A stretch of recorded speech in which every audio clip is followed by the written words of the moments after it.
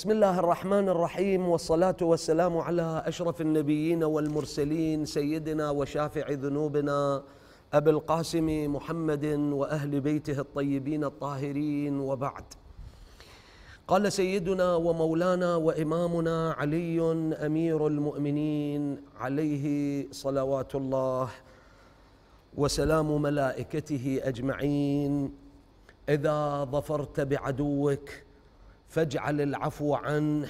شكرا للقدرة عليه. أرحب بكم أحبتي المشاهدين في هذه الليالي الكريمة في هذه الليالي الفضيلة. ونحن في رحاب القيم في رحاب المثل في رحاب الإعجاز الذي يلف حياة سيدنا حياة سيدنا أمير المؤمنين صلوات الله عليه وعليه صلوات المصلين. توقفنا في حلقات عديدة عند مظاهر الإعجاز في حياة أمير المؤمنين حتى وصلنا إلى الإعجاز النفساني والجسماني. بعد ذلك توقفنا في الحلقة الأخيرة على ما ببالي عند الإعجاز العلمي في حياة أمير المؤمنين صلوات الله عليه وذكرنا أمثلة وكذا من الرياضيات وغيرها ومن الميراث التي لا يصح أن توصف إلا بالإعجاز والخارقية. فسبحان من خلقه وجعله مثالا حيا لأكرم خلقه جعله مصداقا واقعيا لروعة خلقه سبحانه وتعالى. اذا الله الذي أعطى الإعجاز لأنبيائه وخاصته وأصفيائه. حتى ذكر علماء الإسلام عن بعض الأولياء ما أدري يحج في السحاب وما أدري فلان ينادي الدجاجة بعد أن يأكلها فتأتيه مرة أخرى. وأنتم أعرف والمشاهدون أعرف لاحب المشاهدين أعرف بكثير من الأمثلة التي يسوقها علماء الإسلام فلا أحد ينكر الكرامات لأولياء الله فكيف ينكرها لوليد الكعبة لسيد الموحدين لأمير المؤمنين لمن نزلت فيه عشرات الآيات من كتاب الله حتى في مسند أحمد انه ما نزل بعل ما نزل بأحد من الصحابة ما نزل بعلي من القرآن.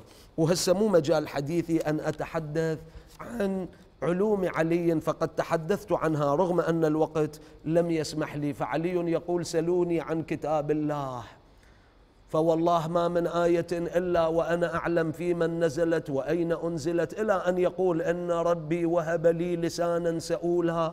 وقلبا عقولا تلميذ مخلص مجد كان لرسول الله صلى الله عليه وآله حتى قال والله أنا أعلم بأهل التوراة من توراتهم وأهل الإنجيل من إنجيلهم إلى آخره. اليوم أتوقف عند الإعجاز في الخلق والسلوك لحياة أمير المؤمنين. بحق ليس لأحد أن يصف إلا أن يصف هذا الخلق بالإعجاز والخارق. يعني مثلا مثلا شخص موهوب كعلي صلوات الله عليه هذا المستوى من الشجاعة اللي ما بقى أحد في التاريخ كما يقول ابن أبي الحديد أنسى من كان قبله ومحى اسم من يأتي بعده في كل المجالات اليوم نريد نقف عند الإعجاز في مواهب علي أخلاق علي سلوك علي فقد كان معجزة بحق أيها الأخوة. شخص موهوب كهذه الشخصية كشجاعة ما أعرف كسلطة يقود زهاء خمسين دولة من خارطة اليوم. هاي الدولة الإسلامية العتيدة من المغرب العربي طنجة وإلى الاتحاد السوفيتي. أوزبكستان وقرقيزستان وطاجيكستان وباكستان وأفغانستان اللي تدعى ما وراء النهر يوم ذاك التي جعل عليها أمير المؤمنين ابن أخيه جع... ابن أخته جعيدة بن ابن هبيرة المخزومي. كان أمير المؤمنين خالا لجعيدة ابن هبيرة المخزومي اللي أمه فاختة بنت أبي طالب أم هاني المعروفة اللي عرج بالنبي صلى الله عليه وآله من بيت أم هاني كما في أغلب كتب التاريخ والسير. الإمام سلام الله عليه كان قد وضعه واليا على تلك البلاد في بلاد ما وراء النهر يعني بلخ وأطرافها أفغانستان. هذه الدولة العتيدة شخص بهالمستوى وهالملكات عنده وقائد أعلى وموهوب وأعلم أهل زمانه وأشجع أهل زمانه و و ولكنك تجد الإعجاز في خلقه وسلوكه. ما هو الخلق وما هو السلوك في هذه الحلقة؟ رغم اختصارها فأذكر أشياء على وجه السرعة. تصور بها المستوى والهبات الربانية والمواهب الإلهية والشجاعة والسمعة والسلطة والنفوذ والعلم. لكنك تقرأ في تواضعه كان يجلس على دقعاء الأرض. أرض المرتفعة غير المستوية كذا. كان يلبس إزارين. إعجاز. هل رأيت أحدا في السلطة يفعل هذا؟ بين صفين بين صفين. في صفين بين الصفين يخطب يعني بين زهاء 210 آلاف مقاتل. زين بين 210 آلاف يخطب. أيها الناس دخلت خلافتكم وعلي هذين يعني المئزر والإزار. وعلي هذين وراحلتي هذه وغلامي هذا. فإن خرجت من خلافتكم بغيرها فأنا لكم سارق. حاشاك يا أمير المؤمنين. الإعجاز هذا أن تمر بقائد يمتلك كل هذا تنظر إلى تواضعه الإعجازي يجلس على دقعاء الأرض. تواضعه اللي يصفه ضرار بن ضمرة وكان يأتينا إذا وكان يجيبنا إذا سألناه ويأتينا إذا دعوناه. الله أكبر. يعظم أهل الدين ويحب المساكين. هذه صفاته الإعجازية. الفرق بين الخلق والسلوك. بسرعة أحبتي حتى بعد الفاصل نستطيع أن نذكر بعض الموارد المشرقة الإعجازية من حياة علي صلوات الله عليه. أحبتي هناك خلق والخلق يجمع على أخلاق والأخلاق علم. لعلي في حلقات متبقية من برنامجي هذا سأقف عند الأخلاق. وكيف أن الأخلاق تكفر الذنوب وغير ذلك إذا سمح الوقت في حلقات لاحقة. الأخلاق هو جمع الخلق، الخلق أيها الأخوة يقال للسجية، للطبع، للعادة، للديدن. إذا واحد مثلا صار ديدنه العفو والصفح عن الناس، مو مرة بحياته يصفح عن مسيء، لا يقال له صاحب خلق عفو. أو صاحب العفو أو لا يقال له عفو لأن لم يصبح لم يصبح العفو عنده خلقا ديدنا طبعا سجية ما يقال إلا عفو.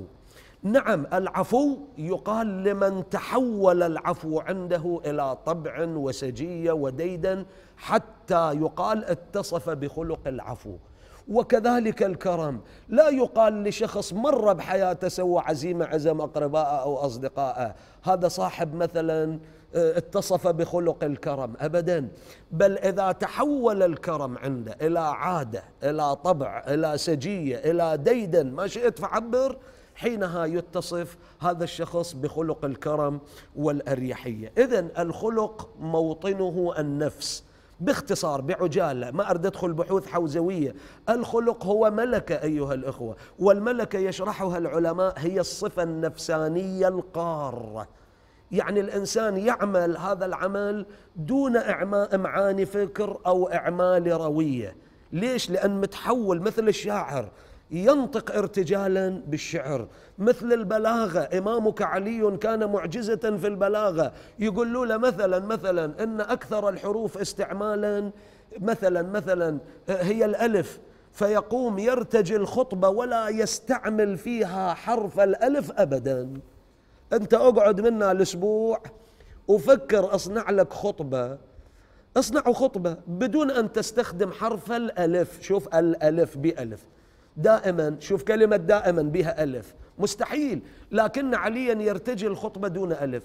يقولوا له أكثر الحروف استعمالا مثلا النقاط الحروف المنقطة. فيستخدم خطبة صلوات الله عليه بدون نقطة. هذا يسموه إعجاز بلاغي. لهذا كتب كتاب نهج البلاغة فعلي أبو البلاغة. من أسس علم النحو؟ اقروا تاريخ علم النحو وما أدري آه، نشأة علم النحو والإمام كيف وضع علم النحو ووضع أسسه وركائزه وعلمه أبا الأسود الدؤلي ثم انتشر هذا العلم الكريم اللي غايته حفظ اللسان وصونه عن الخطأ واللحن في الكلام ناهيك عن فهم كتاب الله والسنة النبوية. اذا الخلق هو الملكة. يعني يكون عنده ملكة البلاغة يكون عنده ملكة الكرم يكون عنده ملكة الشجاعة. هذه يقال خلق. الخلق موطنه الباطن مكانه باطن النفس. أما السلوك هي الأفعال الخارجية الصادرة مني ومنكم أيها الأحبة. سلوك فلان طيب ليش؟ يقولون السلوك فرق بين الفرق بين السلوك والأخلاق أو بين السلوك والخلق هذا. أن الخلق موطنه موطنه أن الخلق موطنه الباطن مكانه الباطن وأن السلوك موطنه الخارج. ما يصدر مني ومنكم من أفعال حسنه أو قبيحه لا سمح الله هي في الخارج. وما يصدر في الخارج من سلوك هو انعكاس للباطن. إذا كان السلوك طيبا فالخلق طيب. إذا كان السلوك قبيحا لا سمح الله فالخلق شنو؟ قبيح. اذا ما يصدر من البشر من الناس هاي قضية يذكرها علماء الأخلاق.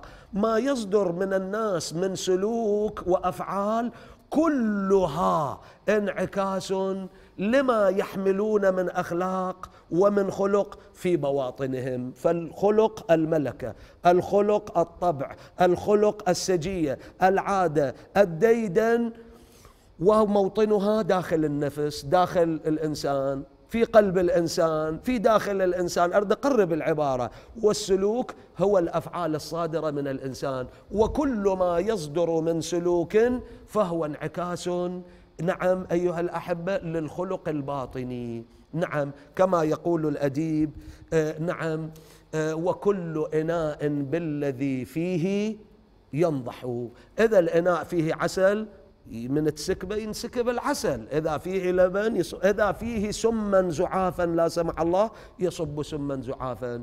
السلوك مرآة للباطن. السلوك مظهر خارجي للخلق الباطني. سنتوقف عند أخلاق علي وسلوك علي بعد هذا الفاصل.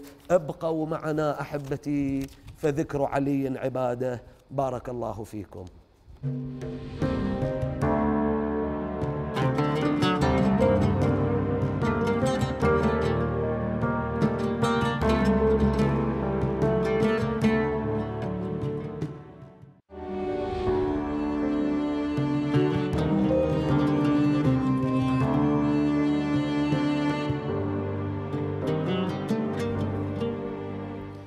حياكم الله أحبتي المشاهدين. بعد هذه المقدمة اللي أخذت مني القسم الأول من هذه الحلقة ما في وقت أن أتوقف وأبسط الكلام أكثر في الخلق والأخلاق. أعدكم إن شاء الله أشير إلى هذا البحث في حلقات لاحقة ونبحث عن أهمية علم الأخلاق وفائدة علم الأخلاق والغرض والغاية من علم الأخلاق والمبادئ الثلاثة لعلم الأخلاق في حلقات لاحقة في هذا البرنامج المبارك الميمون.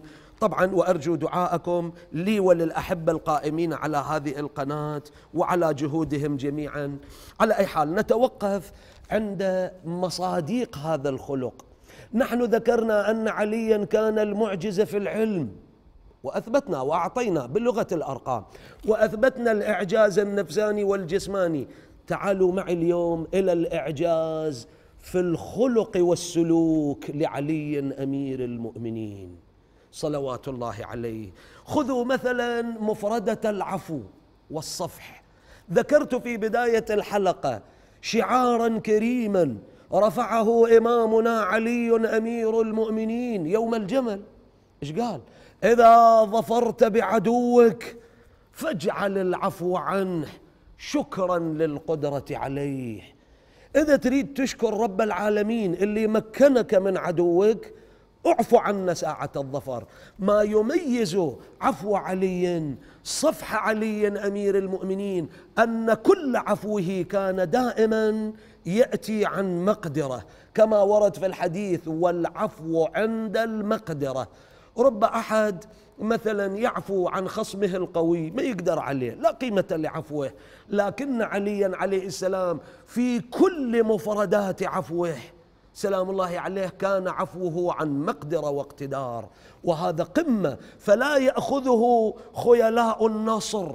ولا تأخذه نشوة النصر اسمح لي أقول تملكه تملكه لأعصابه ها ولنفسه في أحلك اللحظات في أحرج الساعات في ساعة النصر هو أشد اعجازا من ضربه بسيفه. ذلك الجمل ضربه علي أشرت في حلقات لاحقة سابقة.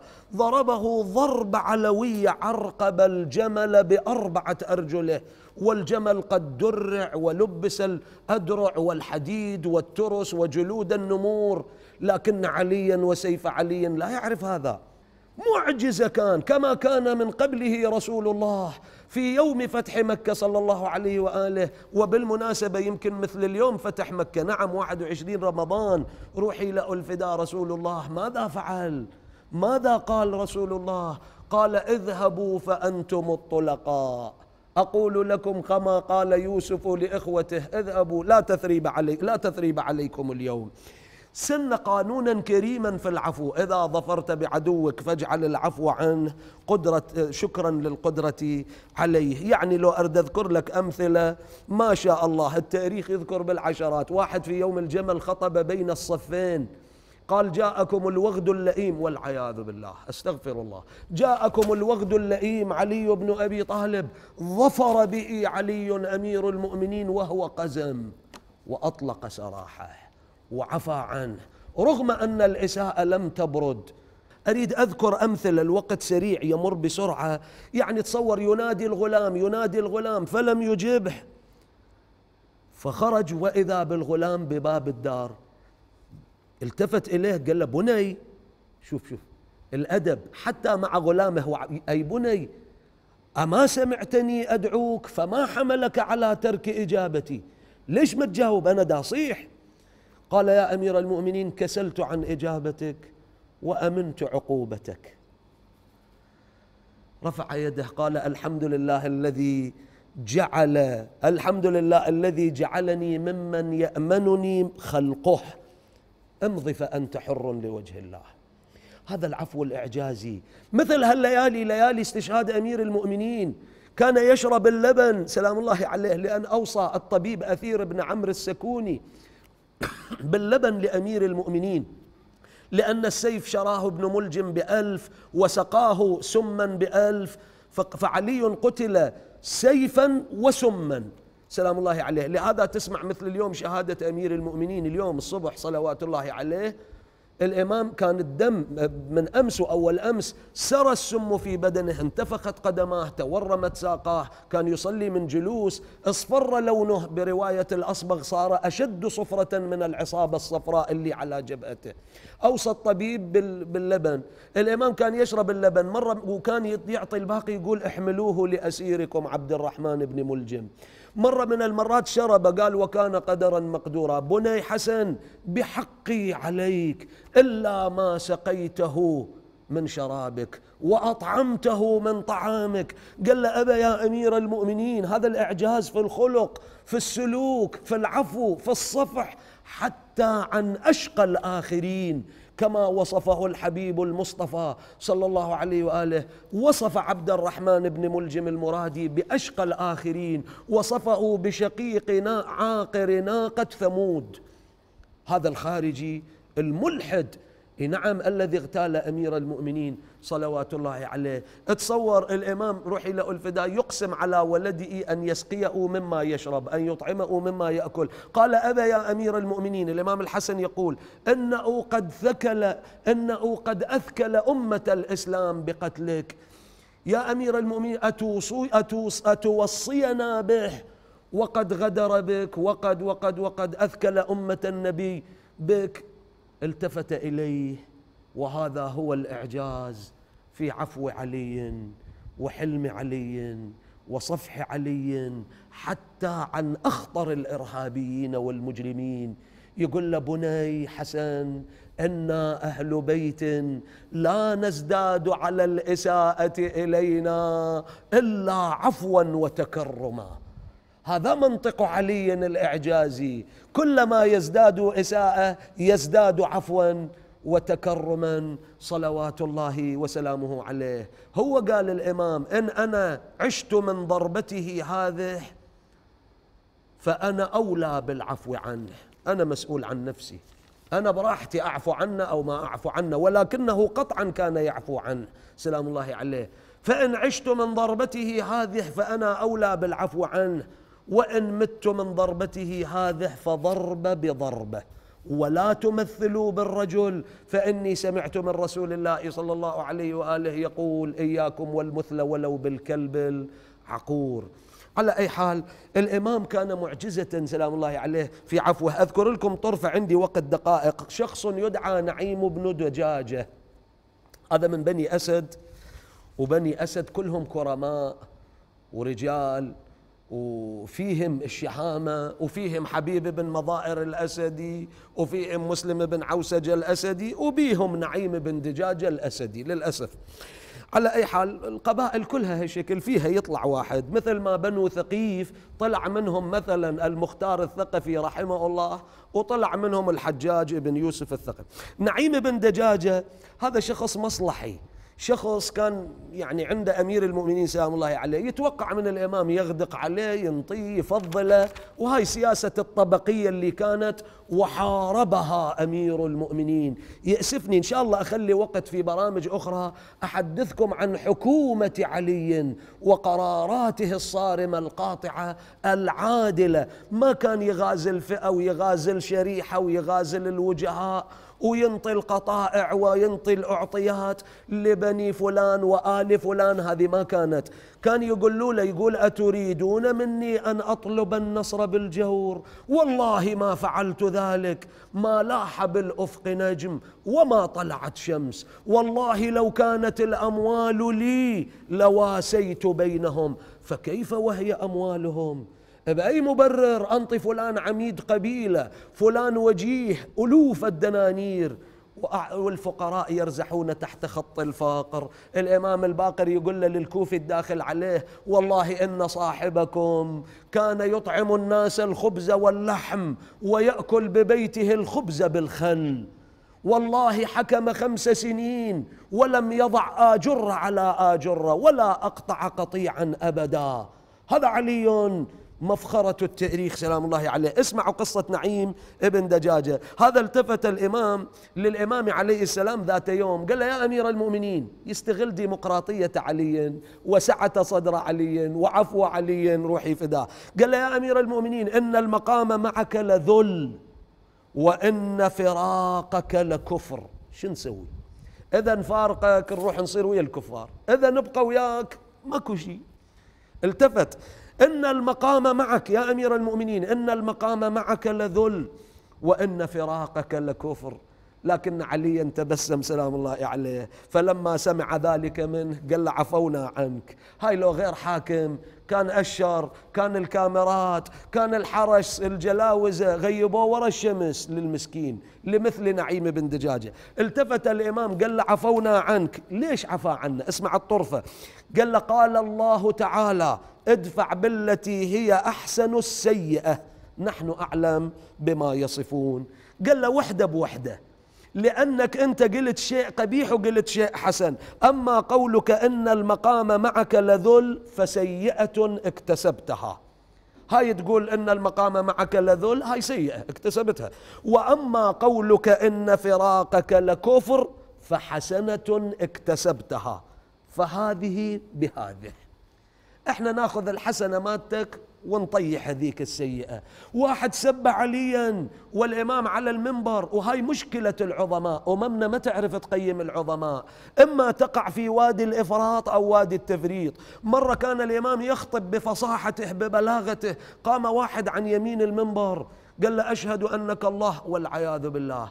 الإمام طبعا هذولا أحرقهم استتابهم ما فهد حفر لهم خندقا وأحرقهم. لما رأيت الأمر أمرا منكرا أججت ناري ودعوت قنبرا أحرقهم. قام الآخر عن يسار المنبر. قال له قاتلك الله يا ابن أبي طالب. ما أفصحك كاذبا؟ امتشق مالك الأشتر رحمه الله السيف وأراد أن يبعجه بسيفه. قال له دعه يا مالك خليه. دعه يا مالك. سب بسب أو عفو عن ذنب. ماكو استغلال للمنصب للكرسي للحكم. وهذا هو الإعجاز في حياة علي في قمة الهرم أعلى قوة عسكرية. وهو القائد الأعلى للقوات المسلحة. وهو يقود خمسين دولة من خارطة اليوم. تاليها واحد يشتمه في المجلس بين أنصاره. الإمام يقول ليس أمامي إلا شيئين. سب بسب سبني أسبه. إذا أريد أو عفو عن ذنب. وحاشا عليا أن ينزل قدره فيسب واحد مسكين مثل هذا. هذا خلق علي. هذا سلوك علي. هذا هو المعجز. وآخر دعوانا أن الحمد لله رب العالمين والصلاة والسلام على أشرف النبيين والمرسلين سيدنا وشافع ذنوبنا أبي القاسم محمد وأهل بيته الطيبين الطاهرين والسلام عليكم احبتي المشاهدين أينما كنتم حيثما كنتم ورحمة الله وبركاته.